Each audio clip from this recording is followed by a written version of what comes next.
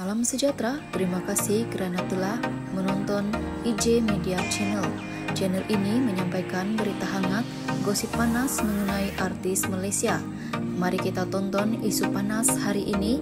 Tolong tekan tombol subscribe, like, share dan komen dan jangan lupa tekan lonceng agar anda tidak ketinggalan dengan video-video seterusnya dalam Salam sejahtera, topik panas yang ingin nakongsikan kepada anda semua bertajuk Gelaran Penyondol Tren Membimbangkan Ustaz Kazim Gelaran penyondol kepada wanita yang mengkawini suami orang adalah tidak tepat malah memberi gambaran buruk tentang perkara yang dihalalkan dalam Islam.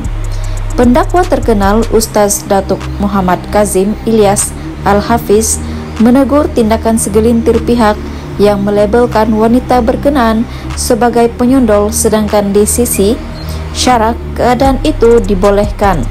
Siapa kita nak hendak label wanita itu sebagai penyondol sedangkan Allah sudah menghalalkan perkara berkenaan apabila lelaki itu berkemampuan.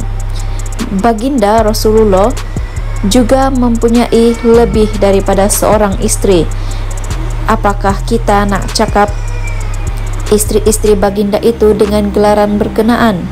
Jangan kita sedap mulut saja kerana geram atau marah sedangkan istilah itu sangat tidak sesuai katanya kepada harian Metro ketika dihubungi.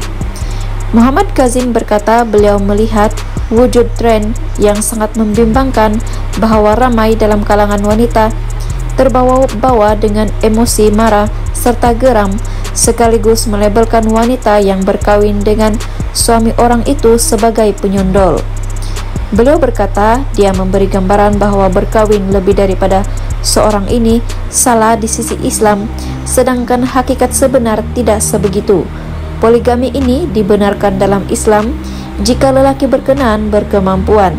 Kita pula seolah-olah ingin larang atau memberi persepsi bahawa poligami ini buruk dan salah siapa kita ingin lawan ketetapan yang sudah dibuat oleh Allah.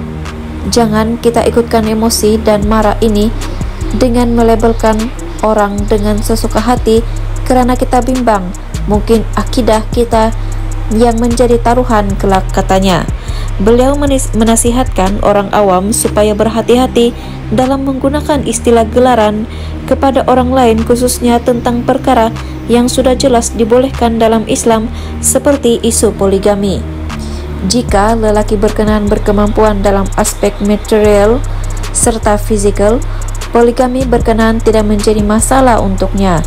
Kenapa pula kita perlu label wanita yang dikawininya dengan gelaran yang tidak sepatutnya? Ini tindakan yang tidak betul, malah memberi gambaran yang salah. Kita harus berhati-hati dan mengawal emosi kita, jangan sampai melampaui perkara yang sudah jelas dibolehkan dalam Islam. Kita pula yang mengharamkannya, katanya dalam harian Metro. Setakat itu info hari ini, sekian dan terima kasih.